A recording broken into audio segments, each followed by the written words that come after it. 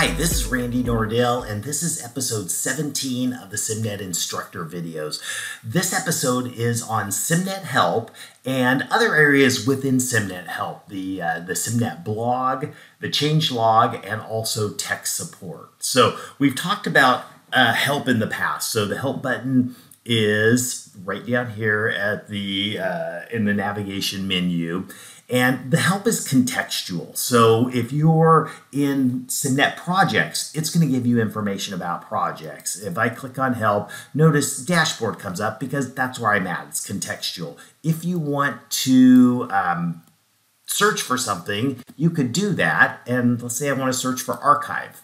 And it'll give me information about archiving items, which is actually going to be our next episode in the SimNet instructor videos.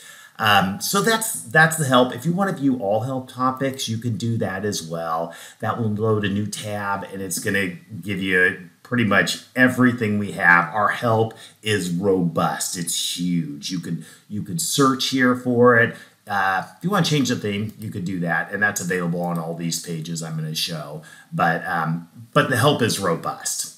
I'm going to close this to go back to are other areas of help. So the other areas there is uh, technical support, uh, system re- uh, system requirements test, change log, and the blog. So let's let's start with the blog.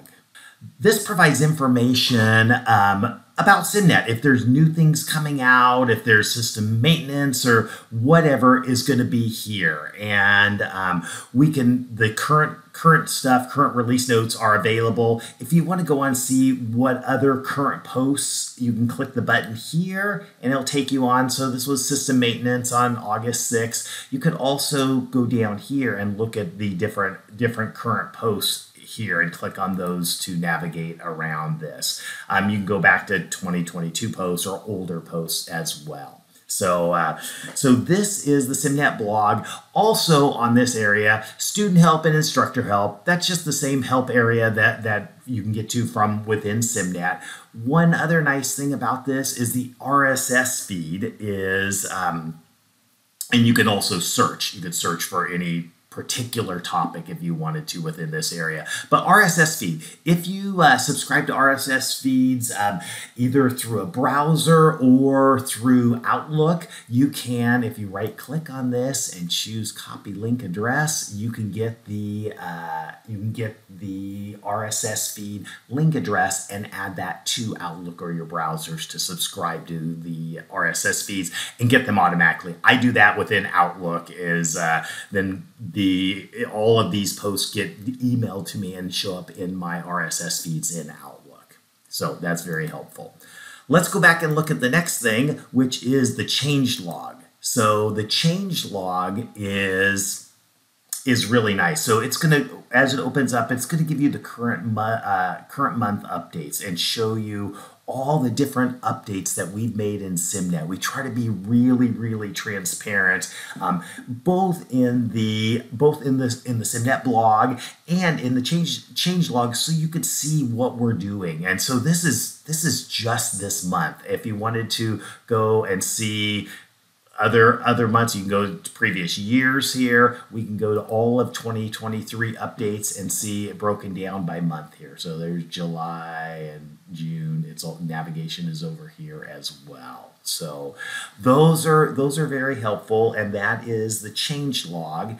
And then also within the help menu i'll close down a couple of these also within the help menu, systems requirement tests. This might be something you have your students do just to make sure that their browser is up to date and it would alert them to any potential issues they may have with SimNet.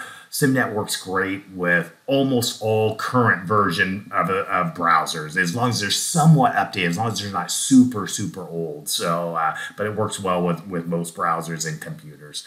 Um, Tech support. So this is one we have a robust tech support. So you can click on tech support. You can show your show your students this as well.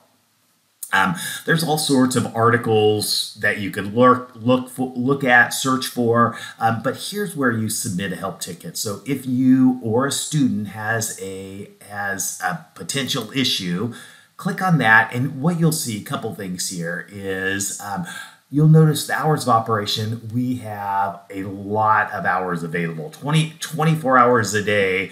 Um, uh, Monday, Monday through Thursday, and then and then a little bit limited hours. I mean, from early in the morning till pretty late at night on Sunday through Monday. So almost 24 hours a day every day, except uh, except for just a couple of them. So um, so anyway, know that know that that's available for your students, and they could do it a couple ways. They could contact a tech support person and it'll give a phone number or chat with them. That's one way to do it. The other is to su- uh, submit a request ticket. So they could click on that and do that and submit a ticket to what's called our CGX, so our, our support team and type of request. More detail they can provide uh, the better. So, uh, so know that that tech support is available for you.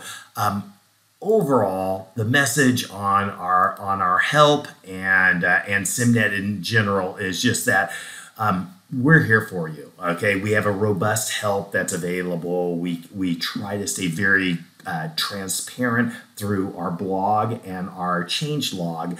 And then there's also great tech support. And in addition to that, you have a whole team around you. You have your local reps and you have your SimNet specialists, and we have our digital faculty consultants and authors and our marketing our marketing team. We have a whole team here to support you to give you the best experience we can in SimNet. So I hope this information was helpful. Have a great day.